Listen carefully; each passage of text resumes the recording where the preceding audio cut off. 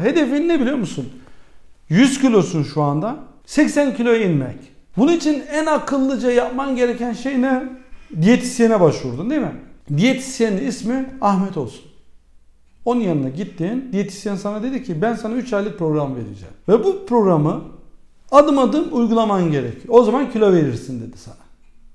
Tamam Ahmet'le başladın sen Ahmet Bey'le. Adım adım ilerlerken bir hafta sonra aa dedin YouTube videosu gördüm bir yerde. Başka bir diyetisyen. Onda daha fazla yiyebiliyorsun dedin. Ahmet Bey'den gözünü Mehmet Bey'e çevirdin. Bu sefer Mehmet Bey'i dinlemeye başladın YouTube'da.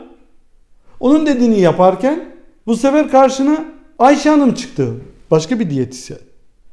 Bu sefer onu dinlemeye başladın. Yine program bozuldu. Üç tane diyet programı uyguluyorsun. Sonra başka bir video yine başladın seyretmeye.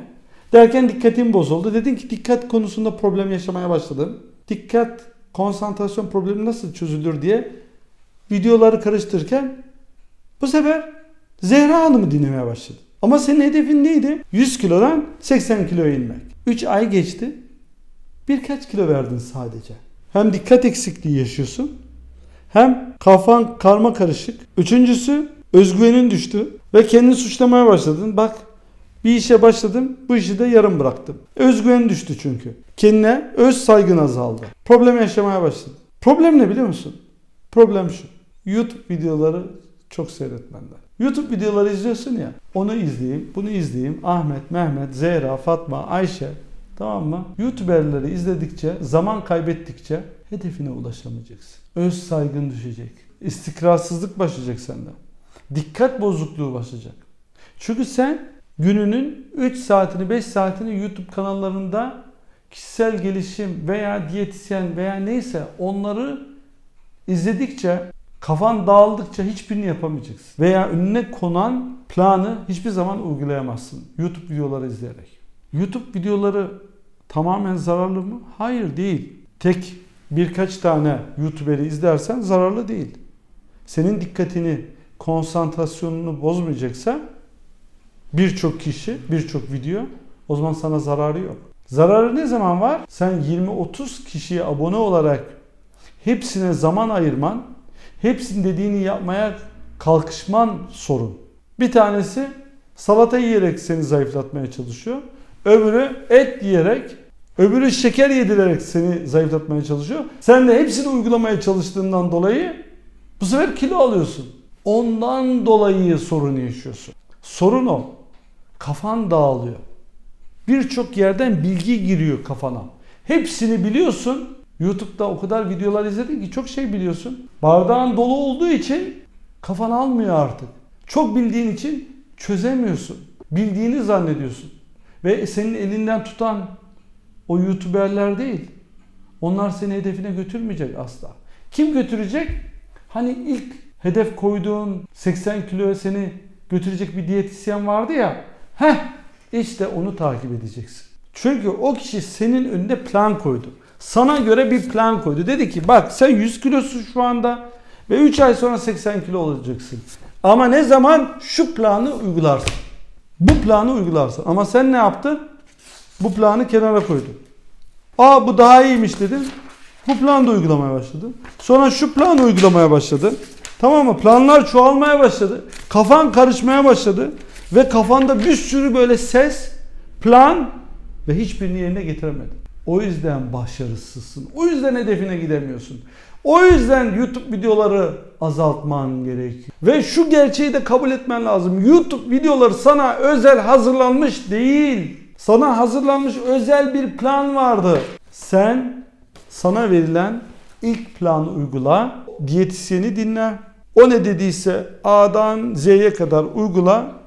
Arzuladığın hedefe ulaşırsın. Bunun dışında kitaplar okuyarak, kafanı gereksiz bilgilerle doldurarak, onlarca YouTube videosu izleyerek problemlerini çözemezsin. Hedefine ulaşamazsın. O YouTube videoları, o kitaplar sana özel hazırlanmadı. Sana hazırlanan özel plan var. Diyetisyenin veya örnek aldığın mentörün sana hazırladığı bir plan var. Bunu uygula, hedefine varırsın. Dolayısıyla değerli arkadaşlar ben videolarımı hazırlarken genel anlatıyorum. Yani sana özel uygulanması gereken şekilde anlatmıyorum. Çünkü birinin problemi sağlık, öbürünün problemi aile, diğerinin problemi finansal özgürlük, bir diğerinin özgüven eksikliği.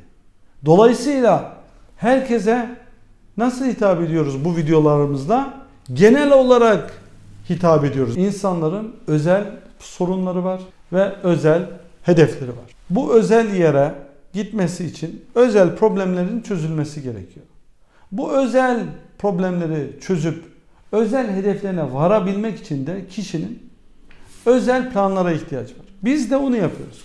Özel planlarla, programlarla, özel programlarla o kişiyi alıp arzuladığı özel hedefine götürüyoruz. Sağlık, özgüven, aile, finansal durum, meslek konusu, özel hayatımızda arzuladığımız hedefe özel planlarla varılıyor değerli arkadaşlar. Bunlar 6 aylık programlar olabilir. Bunlar bir senelik programlar olabilir.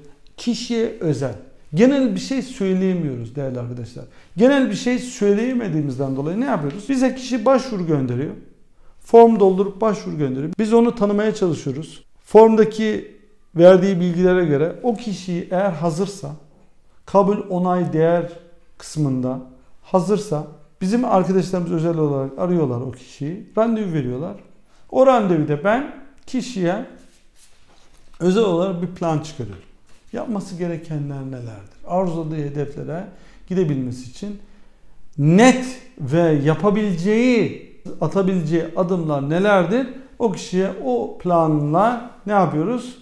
Yardımcı oluyoruz. O planı uyguladığı zaman o kişi de hedefine arzuladığı yere varabiliyor değerli arkadaşlar. Sen de kendine özel bir çözüm istiyorsan, kafanı doldurmadan, gereksiz bilgilerle kafanı karıştırmadan, YouTube videoları izleye izleye kafanı karıştırmadan sen de özel bir çözüm istiyorsan, hedeflediğin yere varabilmek için ya hangi adım atman gerektiğini merak ediyorsan o zaman yapacağın şey hemen videonun altında link var.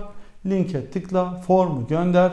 Bizimle bir ön görüşme yap. Bu videoyu beğendiysen beğene tıkla ve henüz değilsen bizim YouTube kanalımıza abone olarak bildirimleri açmanı tavsiye ederim. Hoşçakal.